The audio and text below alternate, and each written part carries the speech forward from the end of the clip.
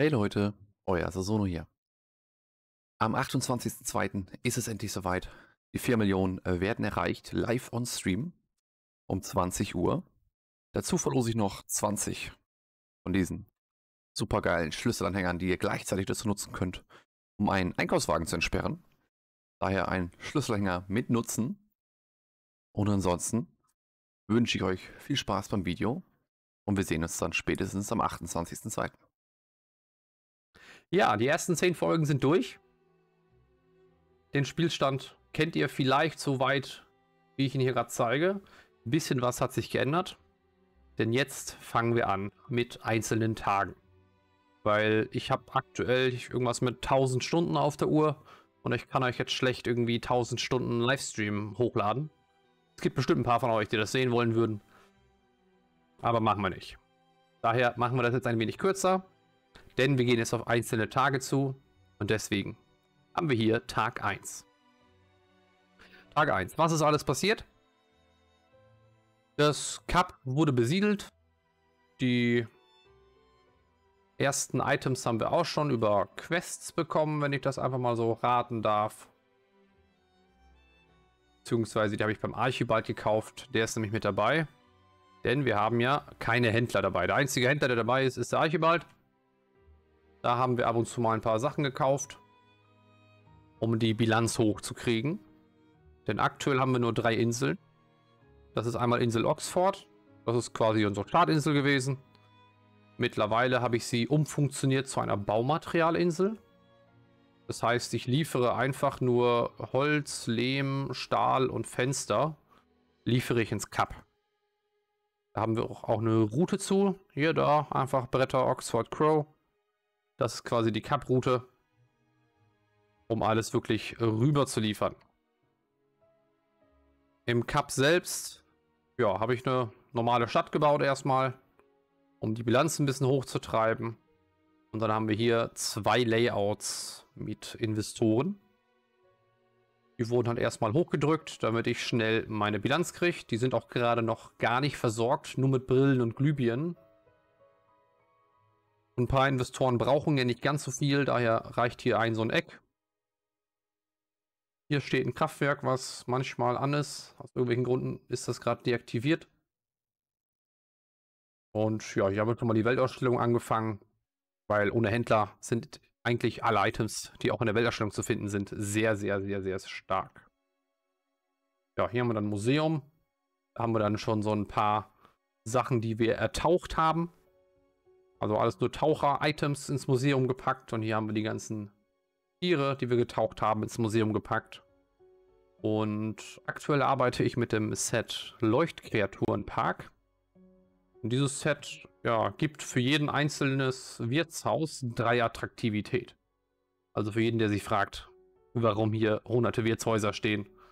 Ich kriege einfach massig Attraktivität dadurch. Ich bin jetzt hier bei 4000. Und so kann ich halt schon mal wenigstens ein paar Items nebenbei mal ergattern. Wenn wir hier ins Konto gucken, da also haben wir schon die ersten paar Epics, die auch schon, äh, Legendaries meine ich, die hier schon angekommen sind. Und das war eigentlich so erstmal Tag 1. Mehr fällt mir jetzt gerade so nicht ein, mehr ist auch bisher noch nicht passiert. dann gehen wir direkt weiter. Tag 2. Wie wir sehen, hat sich schon einiges getan. Die Stadt hat sich ein wenig bewegt. Denn ich habe nämlich alle, alle Häuser erstmal ins Rathaus gestellt. Damit ich nochmal mit mit dem Lichterspiel, was man beim Nate äh, craften kann, ein wenig Attraktivität reinkriege. Damit ich Items verwenden kann, wie zum Beispiel die Schauspielerin. Denn ich bin hier schon so weit, dass ich das Forschungsinstitut hier irgendwo hingestellt habe, glaube ich habe es doch gerade noch irgendwo gesehen. Jetzt ist es nicht mehr da. Keine Ahnung. Ah, hier vorne. Das läuft hier schon. Da, wir forschen auch schon ein paar Items gerade nebenbei. Denn wir waren nämlich schon in NBSA. Die Weltausstellung läuft auch vor sich her. Also ganz, ganz fleißig schon. Hier haben wir überall alle möglichen Items drin, wie ja, die Schauspielerin, Arbeitskräfte, Bücher, ähm, Items zum Hugo, um nochmal Arbeitskräfte zu generieren. Hier die ganzen ähm, ja, Legendaries für die Investoren, damit die gut versorgt sind. Die beiden Blöcke stehen hier auch noch, wo sie vorher standen. Das Museum füllt sich auch schon weiter. Wie wir sehen, sind hier auch schon die ersten Gegenstände aus NBSA reingekommen. Gerade die, die man kaufen kann beim Ketema. Weil die Bilanz ist ja gut stabil durch die ganzen Investoren. Im Zoo sind weiterhin ein Haufen Tiere. Auch schon welche aus NBSA. Gerade auch so ein neues, gutes Set.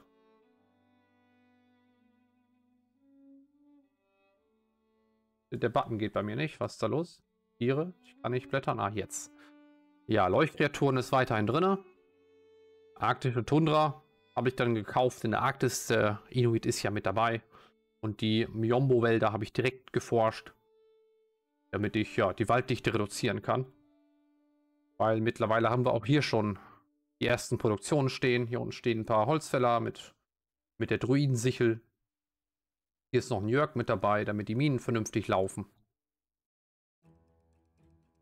Hier ist allerlei Industrie, Versorgung. Die Ecke hier oben habe ich schon angefangen abzureißen wieder, weil ich durch die ganzen Items jetzt viel, viel mehr ja, Platz und Arbeitskräfte spare.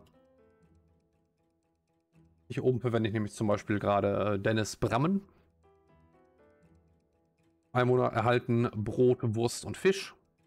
Daher, ja, fällt halt sehr, sehr viel weg. So, die ersten Gelehrten stehen hier auch schon. Aktuell verwende ich hier das Telefon-Item. Ist aber eigentlich total egal, weil ich verwende aktuell gar keine Items, äh, gar keine Besorgung für die Gelehrten. Hier ist nur Strom drauf, Meeresfrüchte-Eintopf, den ich gerade einfliege quasi.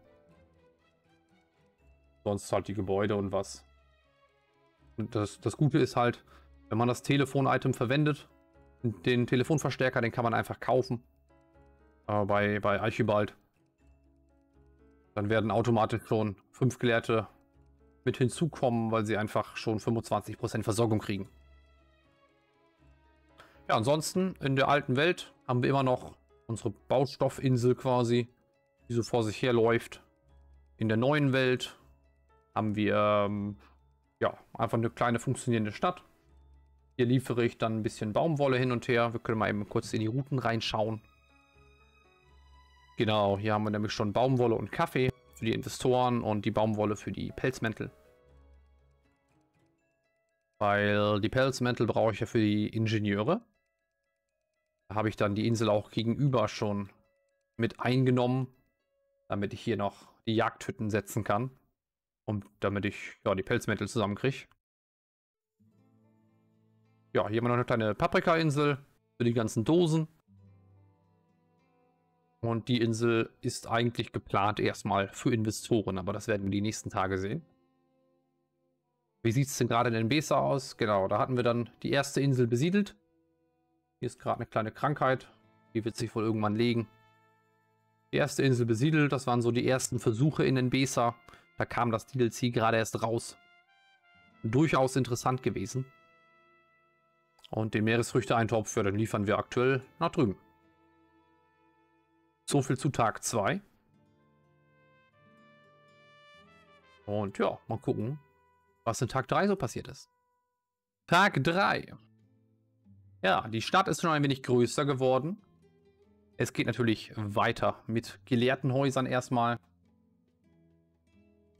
Damit wir schön durchgehend forschen können. Aktuell forsche ich hier die, die erweiterte Kaffeeproduktion in der alten Welt.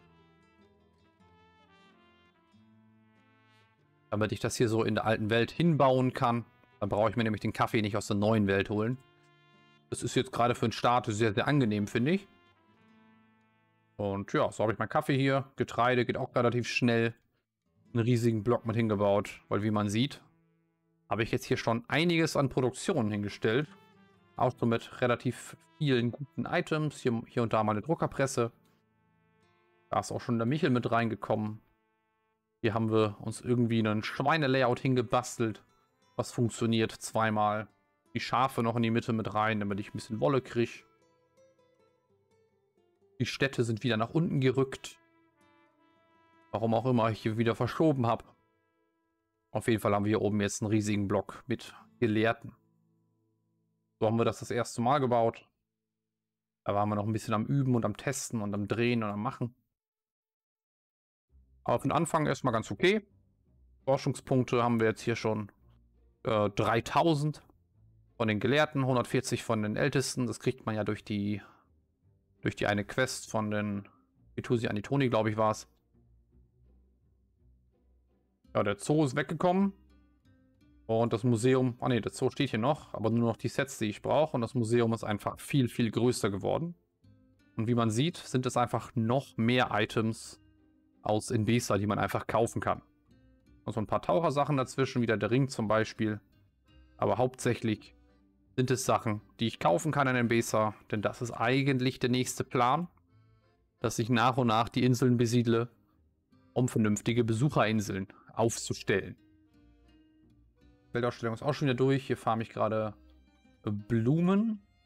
Und zwar die Blumen für die Besucher-Sets. Wir können mal eben kurz ins Lager schauen. Wo haben wir sie? Kultur-Items. Genau, da farme ich nämlich gerade diese Kokospalmen und sowas. Sargasso-See-Sets.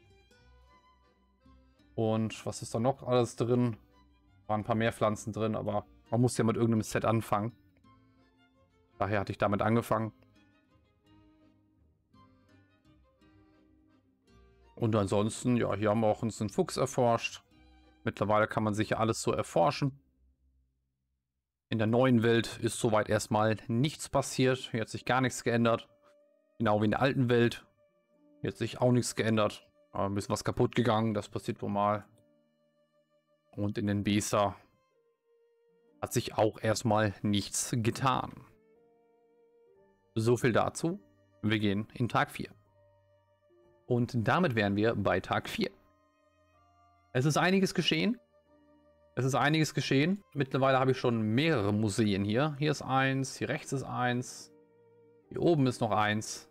Und wirklich alles nur mit den Sachen, die ich kaufen kann aus Invesa. Um halt wirklich die Attraktivität zu pushen. Wir sind jetzt nämlich hier endlich bei 33.000 angekommen. Hier ein bisschen was, da ein bisschen was und dann passt das soweit. Die Industrieecken sind immer noch dieselben. Hier oben stehen schon mal ein paar Telefone, damit die paar Gelehrten hier auch versorgt sind. Denn die Forschungen werden ja immer teurer und darum brauchen wir auch immer mehr Forschungspunkte. Forschungspunktebilanz von 13.000. Lässt sich schon mal ganz gut sehen, würde ich sagen. Und wie man auf der Karte schon sieht, hier ist einiges los. Ich habe nämlich schon die ersten Inseln eingenommen. Wie zu Tag 3 schon erwähnt, haben wir hier einige Sachen, die mit dazugekommen sind. Hier forsche ich nämlich auch schon diese schönen ähm, Madame Kahinas exklusive Tourismusanstoß für 20% Besucherwahrscheinlichkeit. Die anderen beiden kriegt man ja so. Denn ich farme nicht mit dem VIP-Bonus. Denn ohne den VIP-Bonus hat man erstens ein kostenloses Museum. Die Teile kann ich dafür alle kaufen in Besa, daher ist das richtig, richtig simpel. Kann ich jedem empfehlen. Und der zweite Punkt ist, dass die wichtigen, guten Schiffs-Items, gerade die äh, Ermenegilda und den Moses und den Richard, die sind da nicht mit drin in dem VIP-Pool. Und darum habe ich mich von Anfang an dazu entschieden, gar nicht erst den VIP-Pool zu nutzen zum Farmen, sondern einfach nur den Besucherwahrscheinlichkeitsbonus. So hat hier so eine Insel, hat hier 100% mit Museum. Hier stehen auch schon einige Inseln jetzt, die gut laufen. Richtig alles voll. Hier stehen auch Tool-Layouts. Die habe ich mir auf die mittleren Inseln drauf geklatscht. Das ging dann doch ein bisschen schneller als tausende Items zu kaufen. Das musste ja nicht sein. Weil die Paprika sind schon wieder abgerissen worden. Und hier ist schon reger Schiffsverkehr. Denn ich habe wohl eine ganze Investoreninsel eben aus dem Boden gestampft. Weil irgendwoher muss der Einfluss ja kommen. Die ganzen Lücken, die hier drin sind, ja. Ich habe aktuell nur alle Häuser aufgewertet, die innerhalb eines Rathauses stehen, damit ich dort die Attraktivitätsboni mitnehmen kann. Teilweise habe ich auch irgendwelche Legendaries irgendwann mal reingesockelt, damit ich Sekt bekomme oder was. Ähm, wo haben wir hier das Palastmodul? Da steht es mittendrin. Dadurch kriegen wir nämlich unsere Arbeitskräfte, die verteilen wir dann mit dem Pendler ins Cup damit der ganze Laden hier läuft. Dadurch konnte ich dann nämlich die ganzen Bauern und so könnte ich eigentlich abreißen, Bauern und Arbeiter. Aber ich habe sie erstmal stehen lassen, um die Quests zu generieren, weil wenn ich alle Bauern und Arbeiter abreiße, ist es ein bisschen schwierig mit Quests generieren, würde ich sagen. Ja, die Inseln habe ich in eigentlich allen Welten eingenommen. Hier ist auch schon alles voll, grüner Punkte, überall steht ein Kontor. Damit mir der Hugo nicht alles wegnimmt, weil der war schon sehr fleißig am, am Erobern. Aber ansonsten hat sich hier nichts getan, weiterhin. Ich habe nur die Inseln eingenommen, damit der Hugo mir nicht auf den Keks geht. Und ansonsten in der Arktis war ich jetzt auch schon, habe alle Inseln besiedelt. Ist aber noch gar nichts passiert. Die Arktis, die habe ich irgendwann mal im November weitergemacht. Das ist ja alles noch.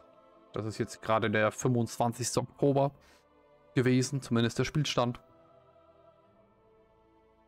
Und soweit würde ich erstmal sagen, ist das ganz gut. Und schauen wir uns mal an, was in Tag 5 passiert ist.